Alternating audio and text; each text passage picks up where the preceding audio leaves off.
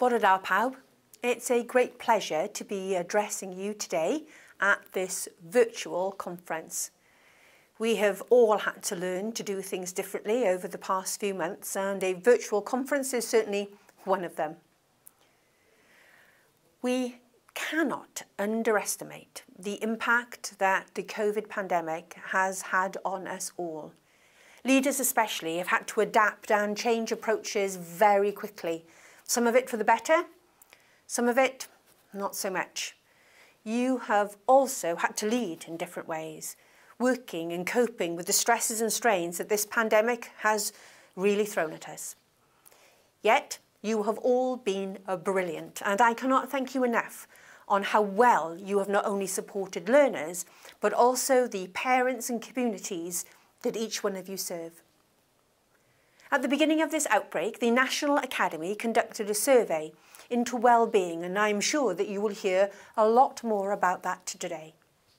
It was conducted during the early stages of the initial lockdown and it showed leaders in schools were particularly impacted by stress and anxiety.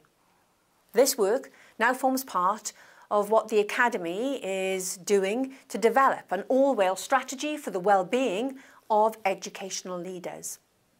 And the Welsh Government, well, we've also been listening to messages coming from you by introducing a number of measures to help mitigate some of those causes of the stress and anxiety. To support you during these unprecedented times, we've introduced a number of support programmes We've taken away some of the reporting requirements and we have supported the new inspection processes, to mention just a few. And we, we will continue to work with you to ensure each and every one of you are able to succeed. We will also be undertaking a review of support for leaders and the provision that's on offer to ensure that together we can identify what support is currently available, who does what, and to ensure that the support you need now and in the future is accessible to you and of the highest quality. This, however, is just part of the story and we will continue to ensure that all leaders, staff and pupils can continue to reach their full potential.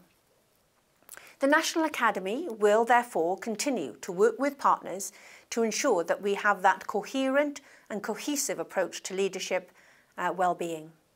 It will convene a working group of the middle tier to ensure that all parties can work together for you and that the support offered is better coordinated and more appropriate.